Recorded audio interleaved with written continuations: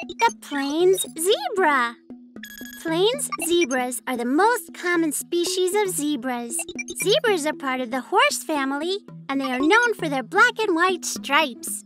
Every year, thousands of zebras migrate, traveling over great distances to look for food, like fresh grasses and water.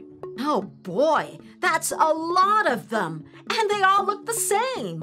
Actually, each zebra has a different stripe pattern.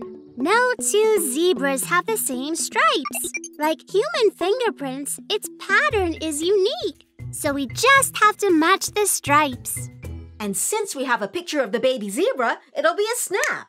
Hmm, stripes and patterns? I think I'll bring our paint along, just in case. Good idea, Katie. Now let's go find the missing baby zebra.